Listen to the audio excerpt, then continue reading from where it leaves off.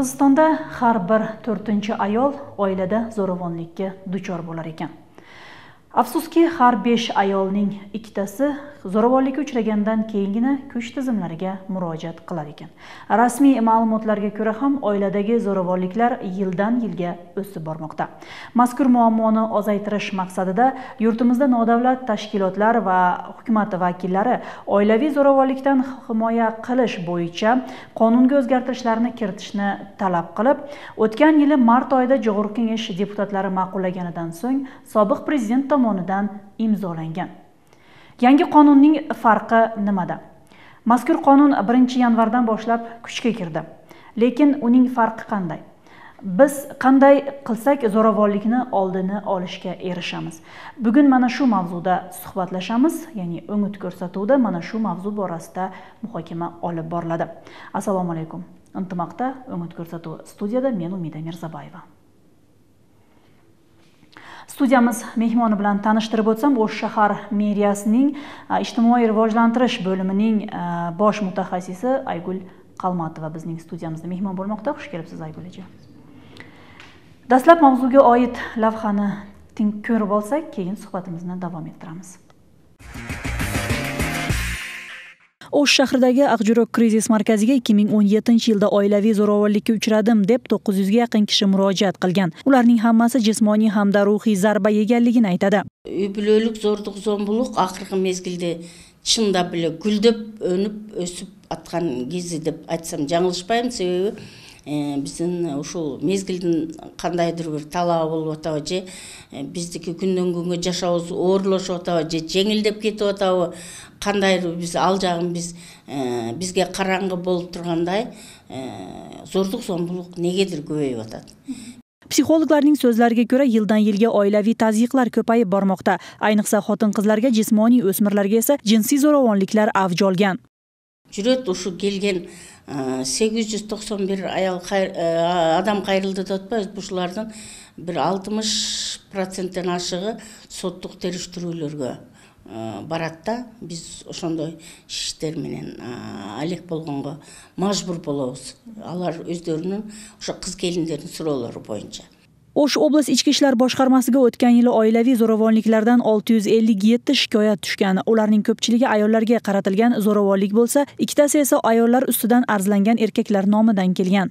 Анын ичинен отуз экисине кылмыш иши козголуп калган административ жаза чарасы көрүлгөн бул жерде негизинен баягы күйөөсү аялына карата зордук же тескерисинче күйөөсү аялы күйөөсүнө карата же башка туугандарына кайнене келин жана башка жакын туугандарына бири бирине карата ошо зордук зомбулук болгону боюнча арыз түшкөн mutaxassislarning ta'kidlashicha zo'ravonliklarning ko'payib borishiga ko'proq oiladagi ijtimoiy iqtisodiy yetishmovchilik muhojirlik sabab bo'lmoqda. Chunki ota onalarning xorijga ketayotib farzandlarini yaqin qarindoshlariga tashlab ketishi oqibatida o'smirlarga nisbatan jinsiy zo'ravonliklar qo'llanmoqda.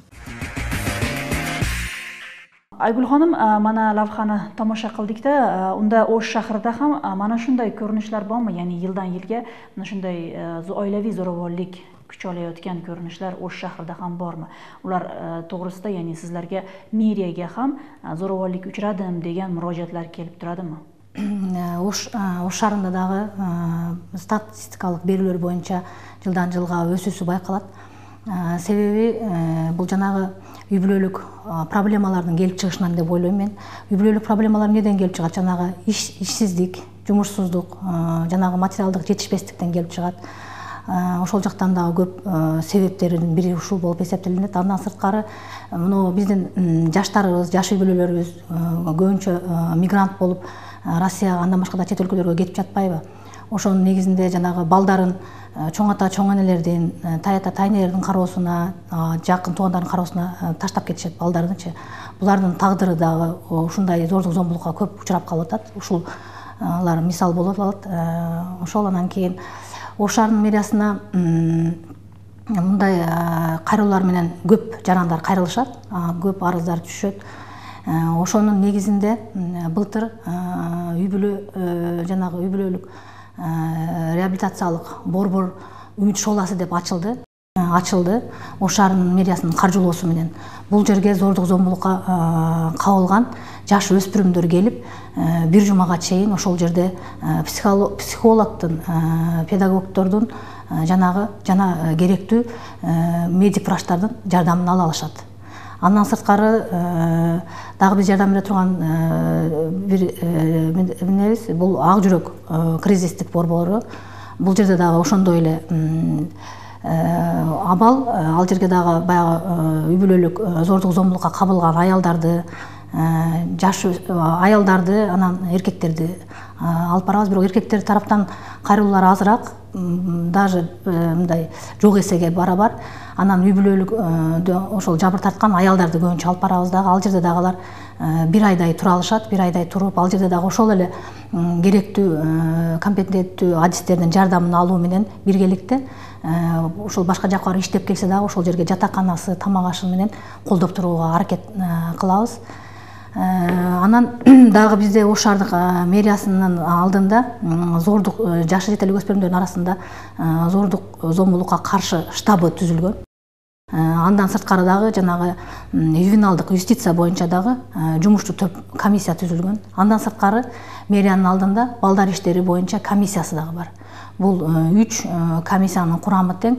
Ушул зордук зомбулуктун алдын алуу иштери боюнча аябай дайыма такай иш алып барышат иш алып барышат анан кайрылган жарандардын ишин оң жака чечип бергенге аракет кылышат ошол комиссиянын мүчөлөрү а комиссиянын мүчөлөрүнө дагы баягы эле ошол зордук зомбулукка кабылган адамга эң керектүү адистер бар. Ал жерде жанагы врачтар бар мугалимдер бар андан сырткары социалдык коргоо жактан анан ички иштер ички иштер башкармалык тараптан бүт керектүү адистер менен камтылган. Sizlarga murojaat qilganlar asosan kimlar? Erkaklarmi yoshi ulug' insonlarmi yoki ayollar o'smirlarmi? Kimlar sizlarga ko'proq e, murojaat qiladi? Көбүнчө бизге жаш балдар менен жанагы үй бүлөсүнөн күйөөсүнөн кордук көргөн аялдар көбүнчө кайрылат жаш балдар менен аялдар кайрылат анан буларга ошол комиссиянын чечими менен бекитилет жанагы үй бүлө менен иштөө планы же болбосо бала менен иштөө планы деп бекитилет ал бала менен иштөө планы же болбосо үй бүлө менен иштөө планында алардын ушул баягы эң керектүү ушул азыркы учурдагы эң көйгөйлүү нерселер бүт ошол планга киргизилет. Например эгер документи жок болсо документи жок жашаган жери жок болсо ал жактан жардам берүү окуганга жери жок иштегенге жери жок десе ал жактан жардам берүү мүмкүн. Баягы майыптык боюнча майыптык боюнча документ алабыз десе ал жактан жардам берүү бүт ошол комплексно каралган. Силерге мурожаат кылганда конунга көрө кандай ишlarni olib бора оласыздар мыйзамдын биз бул бүт ушул ювеналдык юстицияда зордук зомбулук жанагы штабы дагы анан комиссия балдар боюнча комиссиясы дагы бүт өздөрүнүн жоболору бар. Ошол жоболорунун негизинде көрсөтүлгөн жободогу көрсөтүлгөн негизинде иш алып барышат. Masalan olsak bir ayol oilada ya'ni turmush o'rtog'idan zo'ravonlikka uchrab kelgandan keyin sizlarga murojaat qildi deylik mana shunday vaqtlarda sizlar qanday chora ko'rasizlar бул процедура бул биринчи учурда билим ой ички иштер башкармалыгына кайрылуусу зарыл ал жерде жанагы мыйзамда көрсөтүлгөн коргоо ордери бар. Коргоо ордери бар. Коргоо ордери менен кайсы мөөнөтү көрсөтүлгөн мөөнөтү көрсөтүлгөн канча дагы бир убакытка чейин баягы күйөөсүнөн коргоо ордер деп өзү эле айтылып атпайбы ошол экөөнүн арасында байланышты токтотуп турушат баягы бир как бы испытательный срок кылып анан ошол учурда жанагы аялды өздөрүнүн сарын деп коет ички иштер башкармалыгында же болбосо жанагы кризистик борборлорго жайгаштырып турабыз o'tgan yili mart oyida jo'g'ri kengash e, deputatlari ma'qullagan va sobiq prezident almazbek atambayev tomonidan e, imzolangan qonun 1 yanvardan boshlab ya'ni oilaviy zo'ravonliklarga qarshi qonunga o'zgartirishlarni kiritish borasidagi e, qonunga qo'l qo'yib bergan edi.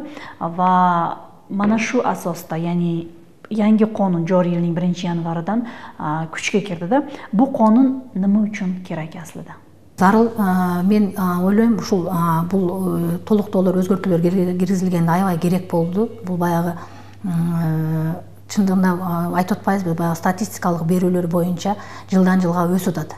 Баягы үй бүлөдөгү зордук зомбулук жаш өспүрүмдөр арасындагы зордук зомбулук ошого баягы азыркы жашоо шартыбыздын жаңыланышына жараша өзгөртүүлөр киргизиши абзел болчу inson yuragini uvushtirgan e, voqealar ko'p uchraydida. Masalan ijtimoiy tarmoqlarda otasi e, bo'g'ib o'ldiribdi yoki ota tomonidan e, zo'rlanganlar yoki kuyovdan juda ham qattiq kaltak yeganlar haqida ijtimoiy tarmoqlarda ko'p ma'lumotlar beriladi. Mana shunday faktlar o'shda ham bormi? Osh shahrында bunday учурлар мындай өтө эле одоно учурлар кездешпейт бирок баягы зордук зомбулуктун бир көрсөткүчтөрү бар да. Көбүнчө мына мектеп окуучулар арасында болуп атат жанагы мушташуулар. Анан үйүндө баягы балдарын уруп сабап анан жанагы бизде эмне болуп аял кишилерден же болбосо биздин жарандардын өздөрүнүн укуктарын аз билгендигине байланыштуу баягы кыздарыбыз эрте турмушка чыгып алышат дагы жанагы же күбөлүгү жок. Анан эмне бала төрөсө дагы баланын баягы туулгандыгы тууралуу күбөлүгү жок. Аны кийин мектепке жайгаштырганда уже баягы көйгөйлөр башталат бала бакчага эмне кылганда көйгөйлөр башталат. Ушул дагы биздин жарандардын жанагы өз укуктарын боюнча сабатсыздыгынан келип чыгып атат деп ойлойм. Силер кандай олдун олуш ишлерин алып бара аласыздар? Биз муну аймактык кеңеш кеңештин төрагалары менен жетекчилери менен аябай тыгыз иштейбиз андан сырткары билим берүү мекемелери менен иштейбиз анан бүт мындай тиешелүү мекеме ишканаларда жанагы ишеним телефону бар. Бизде ишеним телефондору бар анан ишеним кутучалары бар. Бир жүз он бир деген ишеним телефону бар. Ошол жерде кайрылуулар келип түшүп турат анан ишеним кутучалары бар. Ал жерге жанагы анонимдүүлүк сакталат анан билим берүү мекемелеринин баардыгында азыр ата энелер мектеби деген долбоор иштейт. Бул да бул жерде ата энелердин арасында тарбиялык сааттар жанагы тегерек столдор өткөрүлүп өткөрүлүп турат. Баягы ички иштер башкармалыгынын башкармалыгы билим берүү башкармалыгы Э, социалдык коомдук э, социалдык өнүгүү башкармалыгы тарабынан биргеликте бардык. Жерде ошондой э, тынбастан мындай профилактикалык иштер жүргүзүлүп турат. Ак жүрөк ош шаарындагы ак жүрөк кризис маркезиге эки миң он жетинчи жылда саккиз жүз токсон бир киши мурожаат кылган болсо унун токсон төртү эркектер алтымыш жетитаси эсе жашы улуг кишилер экен. кырк үчтаси өсмүрлөр алты жүз сексен жетитаси хотын кызлардан иборат экен буning ma'lumotiga таянат деген болсок бул yiliga yuztadan zo'ravonlikka uchraganlar soni o'sib boryapti degan ma'noni tushuntiradi. Buning oldini olish uchun qanday choralarni ko'rish mumkin nimalar qilish mumkin deb o'ylaysiz?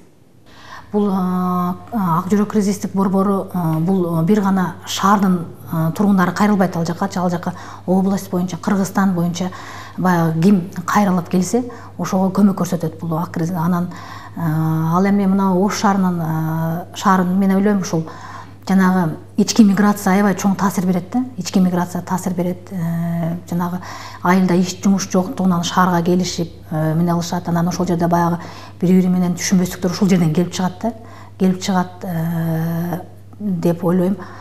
Эми кандай профилактикалык иштерди ушул жанагы укуктук сабаттуулукту өстүрүшүбүз керек да. Мен ошентип ойлойм укуктук сабаттуулукту аял киши өзүнүн жөнүндө мыйзамды жакшы билсе эркек киши бала бала жөнүндө дагы жанагы балдар кодексинде жазылгандай бала балдар өзүнүн баласынын укугун дагы жакшы билсе ушундай фактылар аз катталат болчу. Маселен алайлык силерге муроожаат кылды.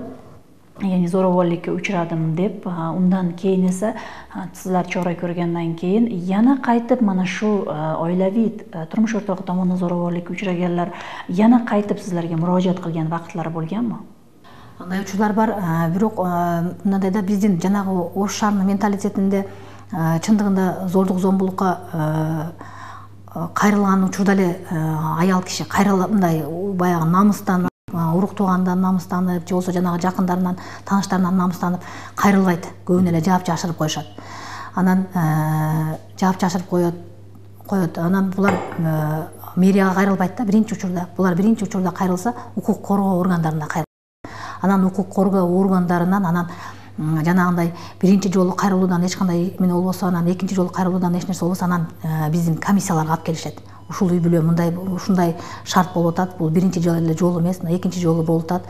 Ушуга укуктук жардам көрсөтөлү деп ушул эмне кылышат конундун аввалгисидан нема фаркы бар кандай өзгөчөлүгү бар?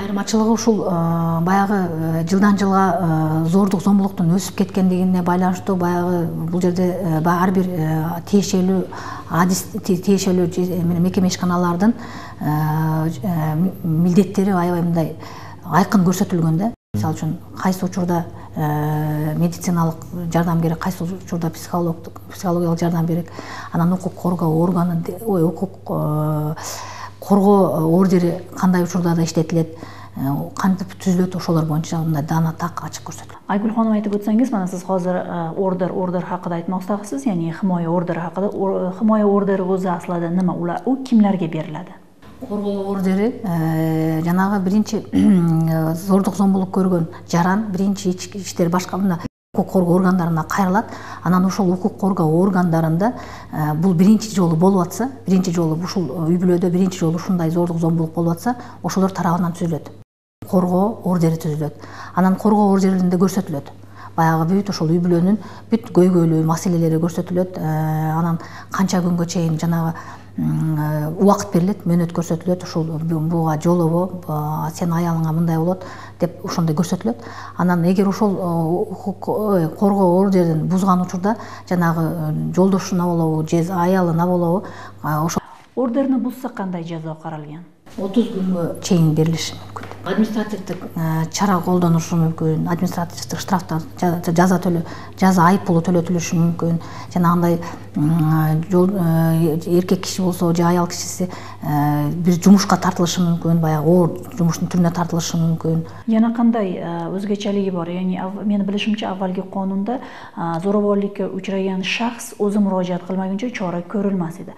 Бул сафарки конунда яғни өзгөчөлүк немеде баягы мисалы үчүн коңшусу көрүп калса коңшусу кайрылган учурда дагы катталат да. Азырчы мурун мисалы үчүн сенин коңшуң көрүп калып чалса жок бул биз өзү чалса же болбосо өзү кайрылса гана кабыл алынат дешчү да. Азыр андай эмес. Азыр коңшусу көрүп калса же жанагы көчөдөн кетип атып туруп ушинтип зордук зомбулук болуп атканын бир күбө катары бир жаран көрүп калса ошолор кайрылса дагы азыр кабыл алына берет айгүл ханым айтып өтсек конун кабыл кылынды унга өзгертиш киритилди аввалгисиге нисбатан өзүңүз айткандай афзалликтери жуда ham көп.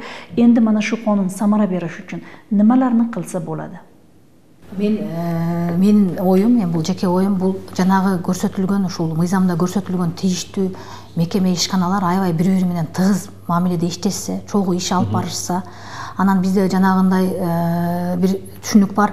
Мисалы үчүн билим берүү башкармалыгы өзүнүн билимин карасын ички иштер башкармалыгы өзүнүн жанагы тартип бузгандарды карасын деп мындай антип бөлүнүшпөй баягы компетенттүү иш алып барышса анан биргеликте иш алып барышса көңүл кош болушпаса ушул нерсе мыйзам ушул мыйзам аябай ишке жакшы ашып профилактикалык иштер жүргүзүлсө ушул мыйзамдын негизинде зордук зомбулук азаят деп ойлойм yangi qonunda meriya ichki ishlar boshqarmaligi sog'liqni saqlash tarmog'i mutaxassislari tig'iz aloqada bo'lib ish olib borishingizlar lozim ekan. Shu asnoda biron reja tuzdingizlarmi? Mana o'tgan juma мына өткөн жума он бешинчи январда вице мэр зулимов шакир мулашевичтин жетектөө төрагалыгынын астында прокуратуранын кызматкерлеринин катышуусунун астында бүт аймактык кеңештердин жетекчилеринин билим берүү социалдык өнүгүү ички иштер башкармалыгынын бүт өкүлдөрүнүн катышуусунда биз ушул зордук зомбулуктун жылдан жылга көбөйгөндүгүн көбөйгөндүгү анын алдын алуу боюнча профилактикалык иштерди кандай максатта жүргүзүү кимдер менен чогуу иш алып баруу боюнча аябай талкуу болуп жыйын өткөрүлдү жыйын өткөрүлдү. Ошол жыйында дагы ушул көрсөтүлдү. Көрсөтүлүп чечим кабыл алынды. Ошол жерде дагы чечимде ушул тиешелүү мекеме ишканалар бири бири менен тыгыз иш алып барышса бири бирине мындай баягы шылтоолошуп бул сенин ишиң бул менин ишим деп бөлүнүшпөсө дайыма чогуу биргеликте иш алып барышса анан кийин баягы жоопкерчиликтүү болушса деп чечим кабыл алынды да анан бул жерде дагы былтыр дагы бир нерсе. Мисалы үчүн жаран биринчи биринчи кезекте ички иштер башкармалыгына кайрылат дагы.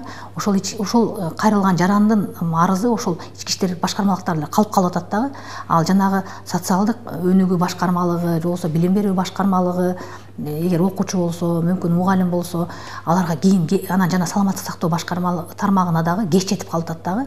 Анан ошондой нерселер түшүнбөстүктөр көп болду. Жетмей калган вазиятлар ham бармы? Жетет бирок бир баягы убакыт өтүп кеткенден кийин бизге эмне айтпадыңар биз менен эмнеге байланышпадыңар деген учурлар көп болуп калды анан ушуну ошол жерде ошондой чечим кабыл алынды. Мындан кийин баягы совместный план деп коет эми баягы биргелик бирге бирдиктүү план түзүп план түзүп ушул жанагы баардык керектүү адистер топтолуп мынау билим берүү мекемелеринде жанагы үй интернаттарында барып туруп ушундай рейд катары ошол жерде как бы жаш өспүрүмдөрдүн арасында жанагы ата энелердин катышуусу менен мына зордук зомбулуктун алдын алуу боюнча лекция өткөрөлү деген чечим кабыл алынды бул баягы аймактык кеңештердеги кеңештерге бөлүп алып ошол бир аймактык кеңеште канча мектеп жайгашса ошого бир жылын жылын бир жыл ичинде бүтө турган иш да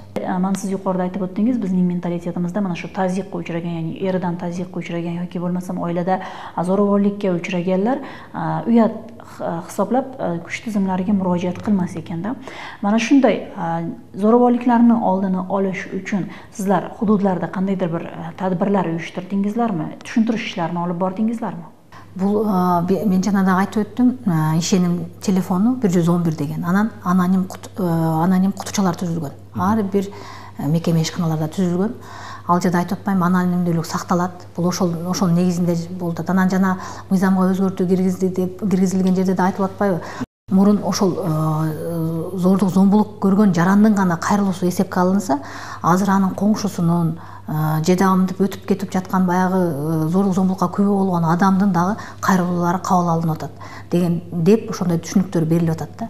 Анан мына бир жүз он бирде он бирде дагы аноним кутучаларында дагы бүт анонимдүүлүк сакталат бирок жанагы зордук зомбулук катталат керектүү башкармалыктарда катталат буларчы yangi qonunda zo'ravonlikka duchor bo'lganlar ya'ni uchraganlar ruhiy yordam olishi mumkin ekan bu faqatgina krizis markazlaridagina amalga oshadimi? Кризистик. Борбор бар жанагы реабилитациялык борбор бар үй интернаттары бар. Ал жерде ошол психологдор педагогдор анан жанагы саламаттык сактоо тармагынан дагы медик керектүү медиктерден ошол жерден медиктердин кароосунан өтөт психологдордон жардам берет. Педагогдор жардам берет бүт ошолор көрсөтүлгөн. Ana shunday vaziyatlar qaltis bo'lsa yotoqxona masalasi nima bo'ladi жанагы үй бүлө боорукердик үй интернатында. Ал жерде жаш жаш балдар дагы бар анан улгайган адамдар дагы бар. Баягы үйдө кароосу жок калган улгайган адамдар кароосу жок көчөдө калган улгайган адамдар дагы ошол жерде жашашат. Балдар деле ошондой жаш эле өспүрүмдөр деле ошондой жанагы атасы жок апасы россияга кетип калган ташталып калган балдар дагы ошол жерге барышат. Алар ошол жерде ошол жерде үч төрт маал тамактанышып кадимкидей жатышып кылышат а балдар ал жерде жаткандан сырткары ушул жакын арадагы мектептерге мектептерге бала бакчаларга барып билим алышат а мынау ак жүрөк кризистик центрде бул жерде бир айга чейин кармап кармап жанагы кыз келиндерди иш менен камсыз кылып турушат тамак аш менен камсыз кылып көмөктөшүп турушат ошо бир айдын ичинде жанагы коргоо ордери бүткүчөктү же болбосо баягы Э, психологдун э, консультациясынын э, күчү бүткүчөктү ошол жерде бир айдай кармалып турат анан ошол жерде иш менен камсыз кылуу башкармалыгы дагы бар алар дагы көмөктөшөт баягы ишсиз кайрылган жарандарга алар дагы иш менен камсыз кылып бергенге жардам беришет jinsiy zo'ravonlikka uchragan o'smirlar yoki ayollar mana shu krizis markazlarida davolanganidan so'ng ularga psixolog tomonidan yordam berilganidan so'ng o'z holiga ya'ni avvalgi holiga keladi deb ayta olasizmi? Ya'ni psixologlar bu haqda qanday fikrlarni bildirishgan?